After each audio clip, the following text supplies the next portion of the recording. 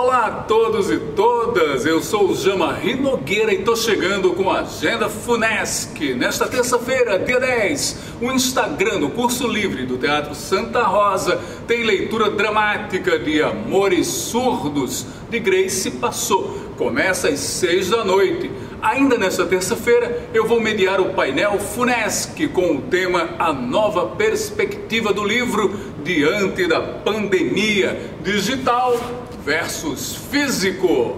Os debatedores serão o professor Luciano Nascimento, a bibliotecária Widjane Albuquerque e a escritora Marília Valengo, que na ocasião fará o lançamento do livro Grito em Praça Vazia o painel será no YouTube da Funesc a partir das 7 da noite. No mesmo horário, só que na quarta-feira, dia 11, a TV Funesc vai transmitir o De Repente na Rede. A apresentação é com o poeta e declamador Hiponax Nova.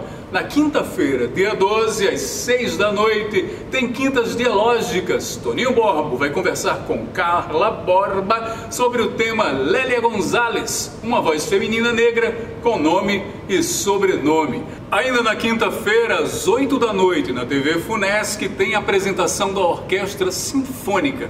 A peça Romeu e Julieta. Às 10 da noite vou apresentar o programa Espaço Cultural na Tabajara FM, uma playlist inteirinha somente com paraibanos em trilhas sonoras de filmes brasileiros.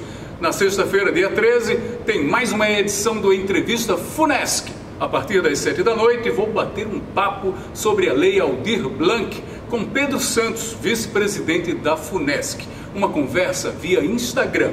Logo em seguida, às 8 da noite, tem o Cine Banguê Online. Serão exibidos três curtas-metragens: Ensaio sobre Minha Mãe, O Solitário Ataque de Vorgon e O Silêncio do Mundo.